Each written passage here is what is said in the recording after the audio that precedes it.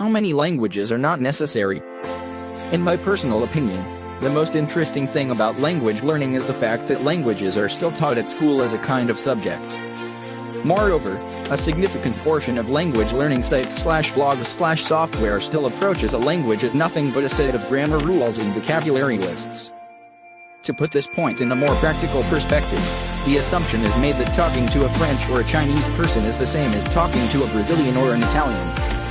You just need to translate the words they use, put them into the correct grammar format, and you can communicate with everyone with ease.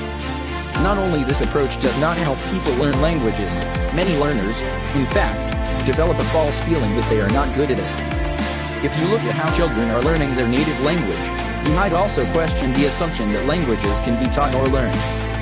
Languages are interesting not only because they have conjugations. They are also a part of the culture that uses this language. If the person is trying to learn a language with books and vocabulary applications, they are missing the most important part of it, the fact that it is a living language. People communicate in it. They express their emotions in it. These emotions are worth a lot more than just words and grammatically correct sentences. This is what really makes a language fascinating, in my opinion. So, I do believe all human languages have an equal value and therefore are not replaceable. The real problem is that only a few language learners are becoming language users. And this has a lot to do with how the language is taught in schools.